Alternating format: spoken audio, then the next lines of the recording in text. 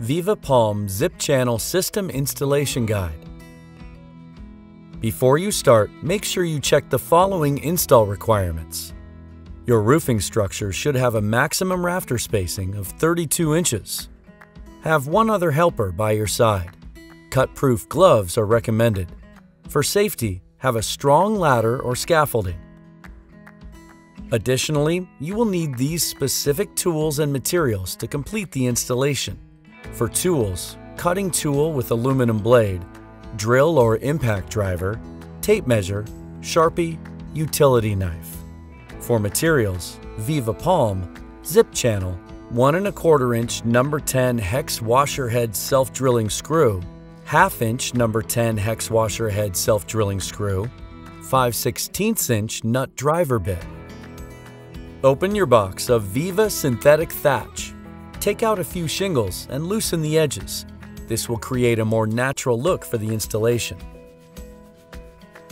Once you have laid out several pieces of your zip channel system, it is time to start loading the channels with shingles.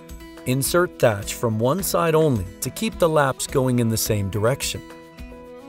Have someone hold the aluminum channel while you are sliding the thatch shingle into the channel.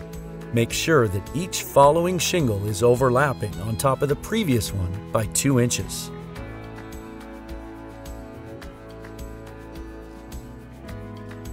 Two inches of the last shingle should be hanging out of the channel. A wood purlin must be installed around the bottom perimeter of the structure. The purlin should be 1 inch to 2 inches round and will be visible after the thatch is installed. This purlin is necessary to support the bottom layer of thatch, providing linear support and visual consistency around the perimeter of the roof. Before you start lining up your channels, we recommend you measure and mark where the thatch will be placed. We recommend this step to ensure alignment. The extended eave method of installation will give you a thicker, longer, and more premium looking eave style. You will use both field shingles and extended eave shingles. The first course, which is a layer of field shingles, will be installed 8 inches above the purlin. When lining up your first aluminum channel, make sure that the far end lines up with the vertical rafter so it can be secured to the rafter. You will need to roll your channel piece before lining it up with your measurement. This keeps the aluminum channel from being visible from the underside and helps make it stronger against high wind conditions. If your aluminum channel ends between two rafters, you will cut off the excess piece with an aluminum blade tool and a box cutter so that the end of the channel ends at the midpoint of the vertical rafter and can be secured. Leave 2 inches of thatch at the hang-off in order to connect it with the next channel. The next channel will have to line up with the first one you will start lining it up underneath the extra thatch piece by the rafter, then roll it in. This will keep the thatch from leaking when it rains. Make sure that the overlap is in the same direction as the shingles inserted into the aluminum channel. It is important to note that you will need to leave 2 inches of thatch hanging out of the aluminum channel in order to connect the next channel to the one you just installed. Use an aluminum cutting tool to cut the extra channel that hangs off of the hips and a box cutter to cut the synthetic thatch. You will do so at an angle that lines up with your structure. This will start the prep for the hip shingle installation.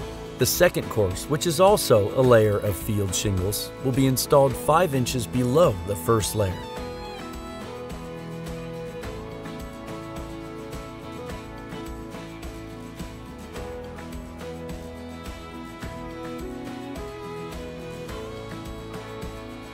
The third course that is installed will need to be an aluminum channel with extended eave shingles. The third course will be installed directly below the second course.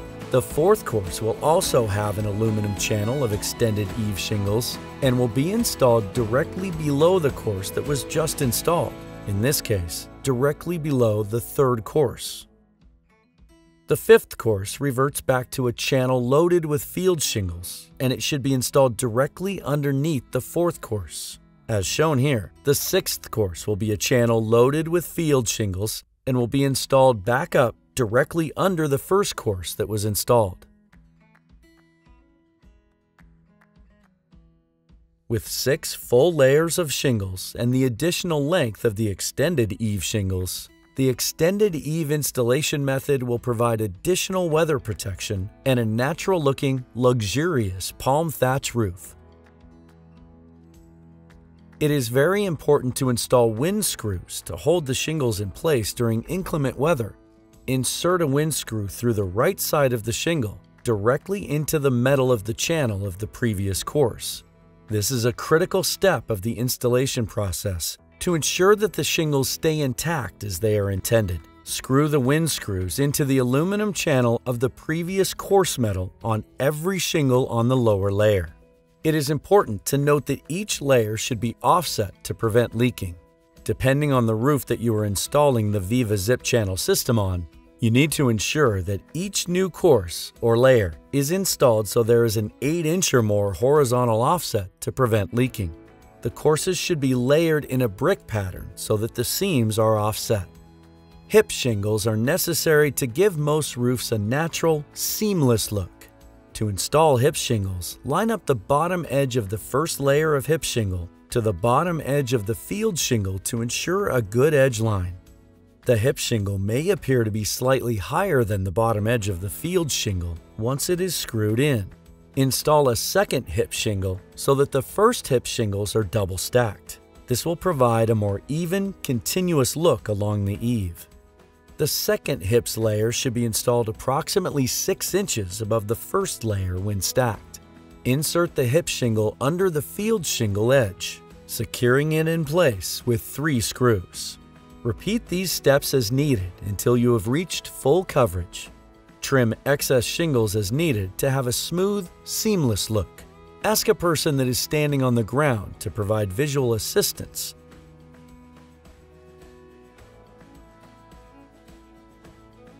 Valley thatch installations should only be installed on a valley with a pitch of 412 or greater. The roof needs to have a steep enough pitch to allow the water to drain quickly from the valley.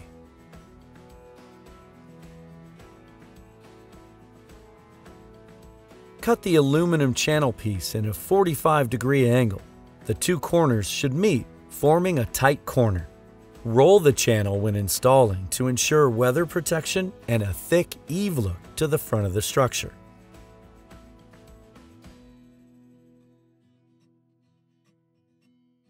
Warning, valley installation may vary depending on structure.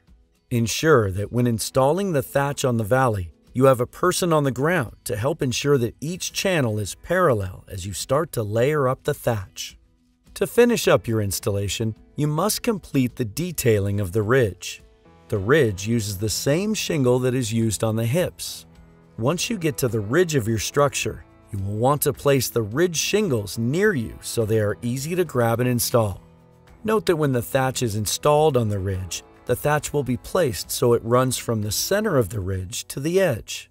Start at each edge of the ridge so the narrow part of the shingle points to the center of the ridge. Each half should be facing the opposite direction from each other. Leave, at most, 8 inches between each shingle. Once you meet in the middle, fold a ridge shingle and overlap it with the shingles facing the opposite direction. This will ensure that the detail of your ridge looks natural and the transition between shingles is seamless. If a ridge intersects with another roof plane, install the last shingle and tuck it underneath the nearest shingle.